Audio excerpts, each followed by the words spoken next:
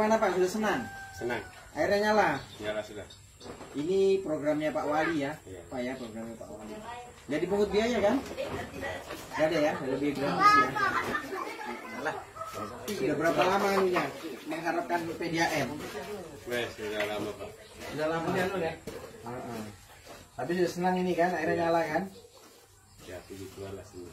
Begituan senang. Jernih airnya Pak ya. Nanti kalau ada keluhan datang aja ke PDAM ya. Oh iya. Dan nanti ini di- dijaga. Soal ini asetnya PDAM. Dijaga kalau ini juga bagus, Bapak juga anunya bagus. Nanti kalau ini tidak bagus ya nanti mungkin bayarannya gitu diperbaiki. Nanti Bapak yang terhambat kalau tidak dirawat, dirawat juga ya. Karena putu ketika pulang. Ya, nanti terima kasih dulu sama Pak Wali.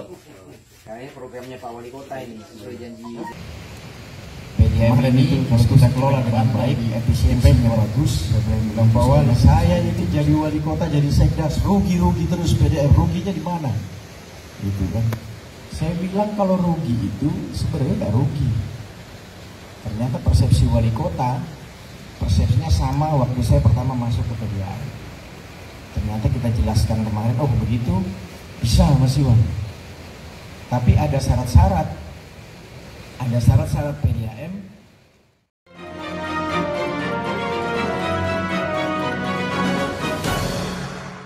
Assalamualaikum warahmatullahi wabarakatuh. Selamat pagi pemirsa Newstara TV Kembali lagi bersama Obras Obrolan santai tapi serius. Saya Yoko Handani.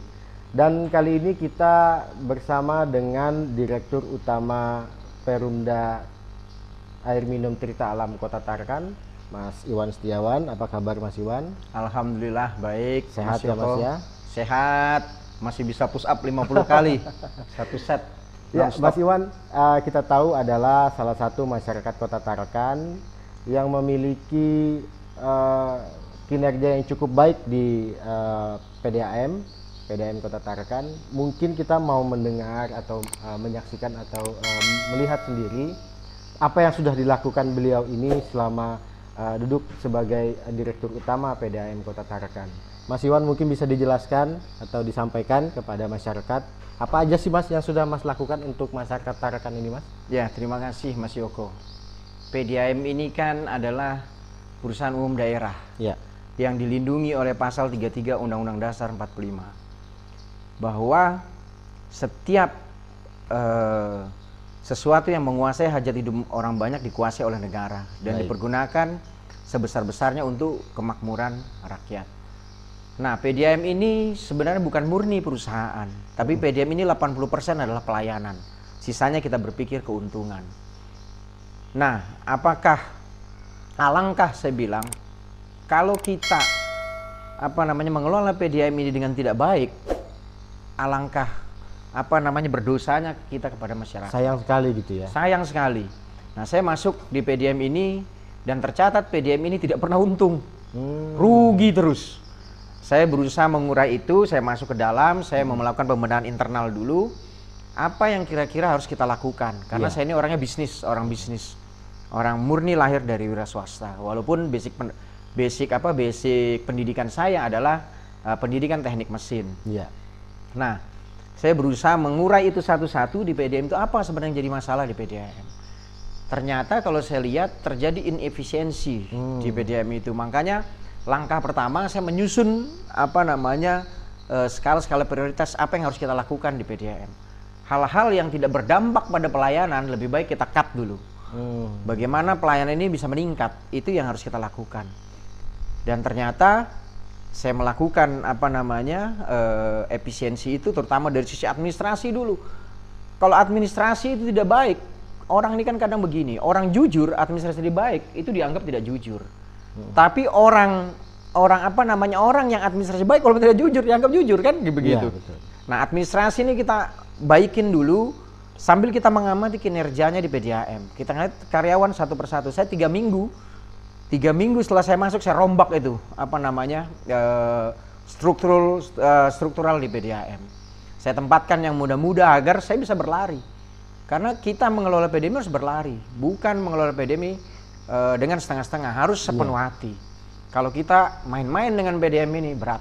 Kasihan masyarakat. Makanya saya kadang eh, sering posting di Facebook itu sampai jam 2 malam, jam 1 malam, jam 10 malam kita rapat merumuskan strategi apa yang cocok untuk eh, apa namanya eh, PDM ini ke depannya baik.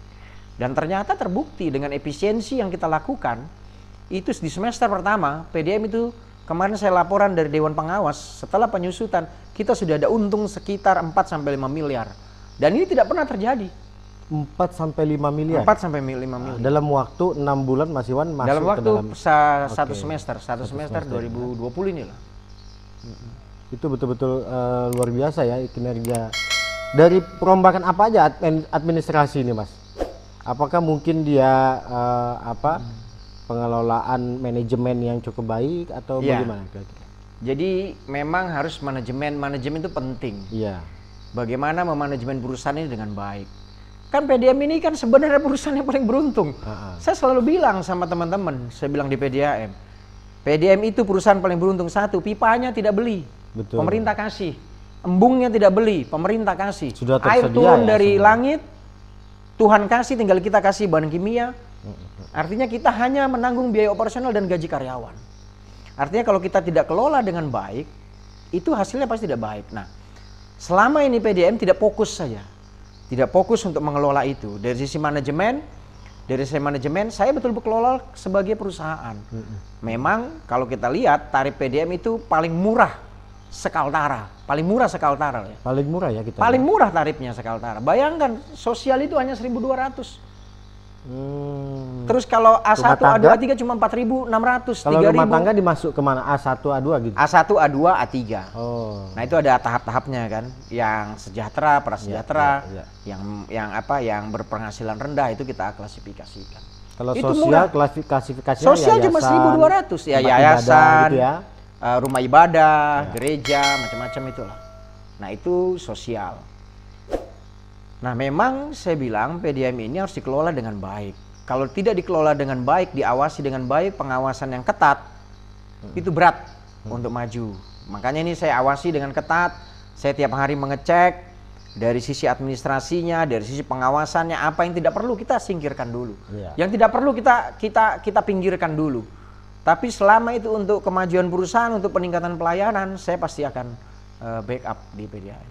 Itu Mas Yoko. Kalau lus uh, lossnya atau kehilangan air bersih yang ada di lapangan atau di masyarakat ini berapa persen kira-kira sudah bisa ditekan Mas Iwan? standar standar dari BPP Spam BPP Spam ini kan sudah dibubarkan Ya. tapi dimasukkan eh, satkarnya ke dinas PU nah menurut standar BPP Spam itu kebo tingkat kebocoran air itu minimal eh, maksimal itu hanya 20 persen 20. 20 persen nah pertama saya masuk kebocoran air itu sekitar 33 34 Oh, masih persen tinggi ya berarti ya. 33 34 persen. Tapi ini tiga empat bulan ini sudah bisa ketekan angkanya itu tinggal 30 persen, 30,80 sekian persen. 30-an. Iya, memang butuh pas respon, terutama apa namanya kalau terjadi kebocoran-kebocoran. Baik. Nah tantangannya PDAM ke depan itu memang eh, cukup berat.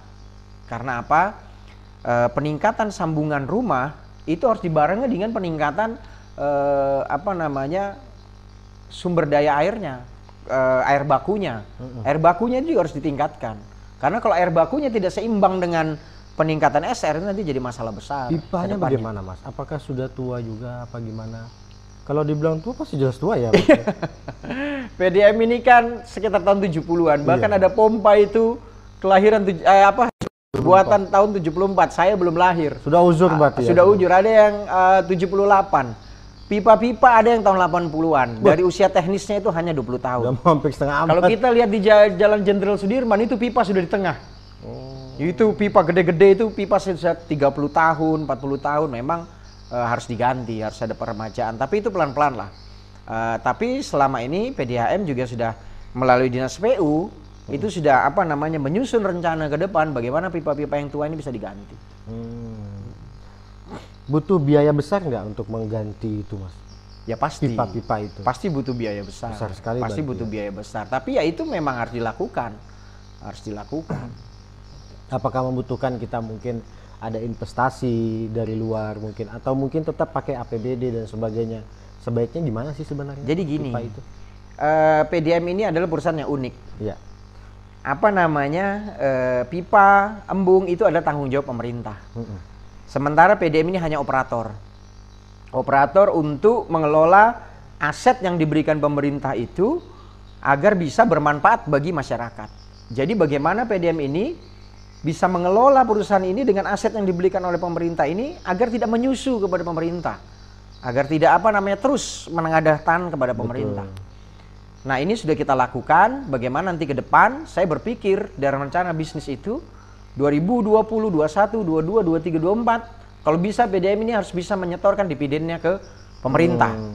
Satu syaratnya pertama untuk bisa menyetorkan dividennya ke pemerintah, minimal pelayanan PDM itu 80%. 80%. Kalau sudah 80%, kalau ada untung bisa store ke pemerintah.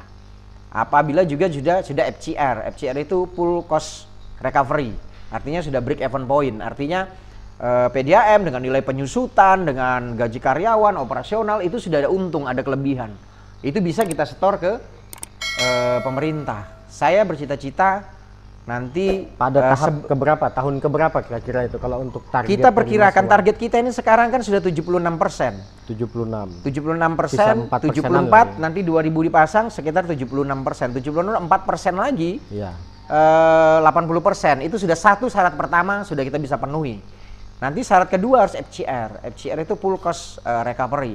Kalau itu sudah terpenuhi, insya Allah PDM akan bisa menyetor dividen ke Berarti tahun depan kira-kira sudah bisa ya Mbak Mbak Ya mungkin tahun depan eh, minimal kita sudah untung sebelum penyusutan lah. Tahun ini pun sudah. Oh, tahun ini sudah bisa. Sudah tahun ini sudah sudah untung PDAM. Sudah untung sebenarnya. Baik, pemirsa eh, Newstara TV, kita cukup luar biasa berbicara dengan eh, Pak Iwan dari Direktur Perumda Air Minum Tirta Alam Kota Tarakan atau biasa disebut PDAM Kota Tarakan. Mas Iwan nanti kita sambung pada sesi kedua.